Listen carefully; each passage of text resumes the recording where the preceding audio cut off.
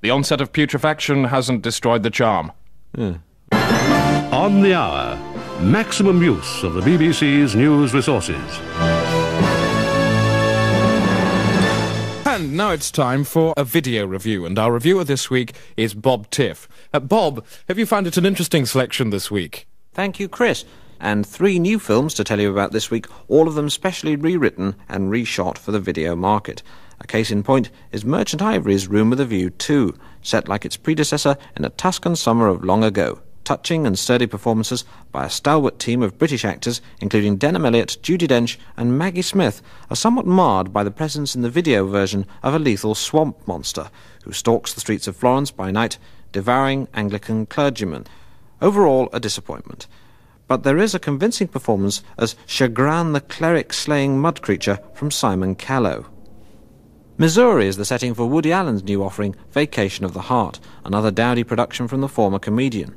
Four middle aged New York sitcom producers meet up at a remote mountain ranch. Dave and Marty are both in love with Danny's wife Sue, while the fourth man, Melvin, has suddenly fallen in love with himself and has decided to make a film about it. Gradually, as the weekend progresses, Melvin and Dave discover more about themselves than Danny and Marty did of each other. Here's a clip. Dave, I don't think I can write it. Oh, for Christ's sake, what do you mean you can't write it? I mean this joke. I, I, can, I can feel it, but I can't write it. Yeah, But comedy is about feeling. Yeah, yeah, but where's the joke? Maybe I'm the joke. Or the joke.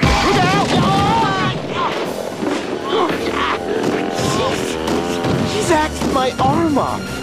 Woody Allen and Michael Murphy there, with a brief appearance as the mutilated axe wielding corpse of a long dead Nazi by Mia Farrow, of course. Vacation of the Heart. And finally, we go to the bottom of the pile, in every sense. From TriStar Videos comes Revenge of the Stinking Dead.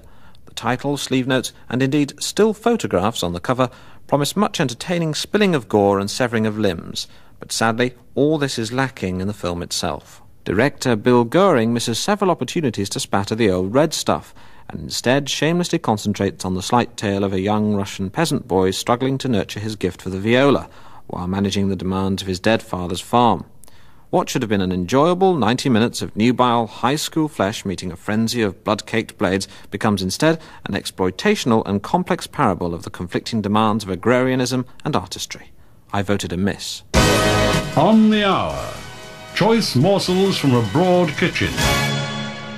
More news now from the World Summit on the Future. Can I just make one final point, Nick, and that's this? No. And the summit has, of course, been a rich source of material for comic satirists. Our reporter Steve Largesse paid a visit to the offices of Radio 4's long running irreverent romp through the week's news. Thank God it's Satire Day.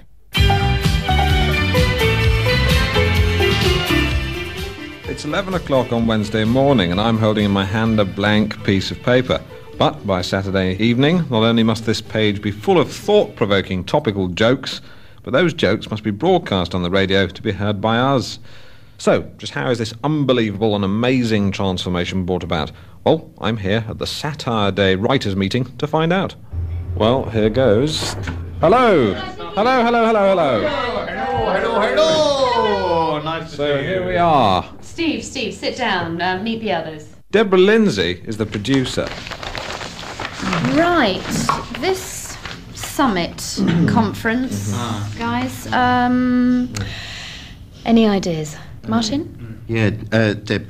Well, I, I was thinking it through last night. It just seemed to me like quite a clever angle if we sort of took it back to Robin Hood and like we portrayed Gorbachev as Robin Hood and connect that with like John Major could be the sheriff of Nottingham. Yes.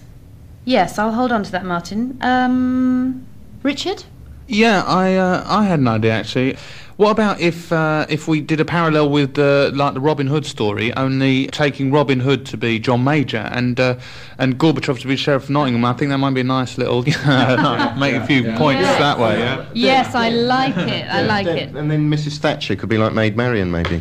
That's fantastic. I'm going to go with it. No, because no, Friar Tuck could be Willy Whitelaw or something, maybe. no, no, that, that wouldn't Yeah, work. uh, Norman Willis. Maybe.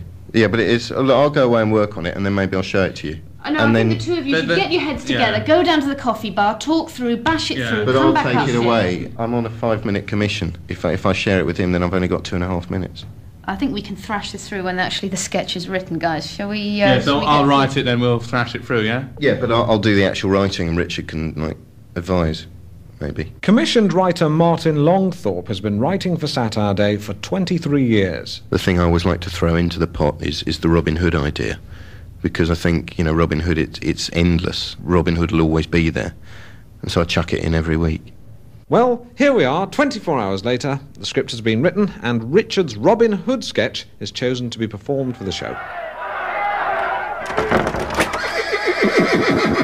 Haha, I am Robin John Major Hood.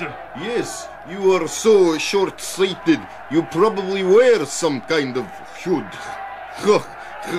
I rob from the poor and give to the rich because I am completely evil and government is really bad if it's right wing. Yes, with you in charge, I doubt we'll win the next election.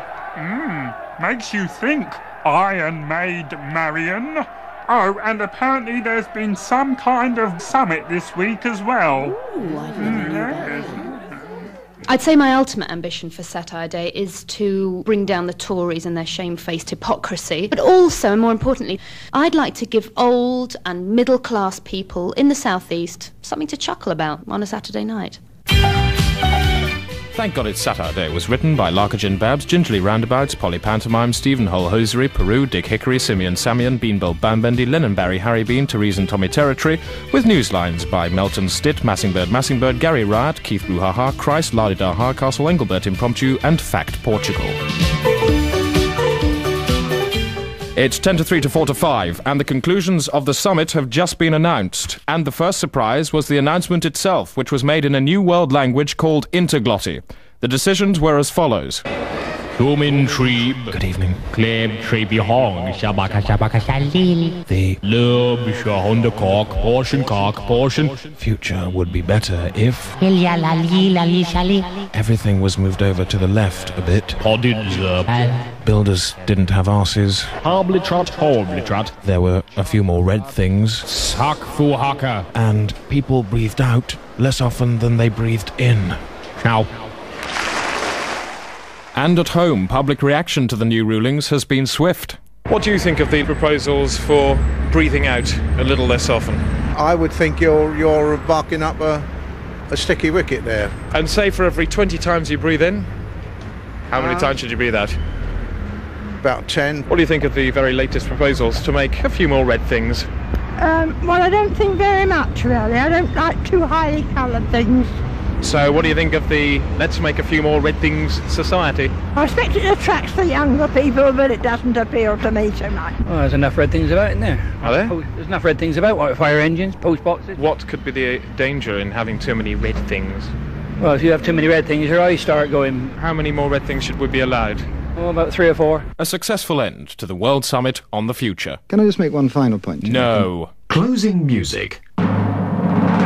And it's time for a look at tomorrow's headlines. The Times Farmer loses piece of straw in unexpected gust disaster. They're devoting 12 pages to that story.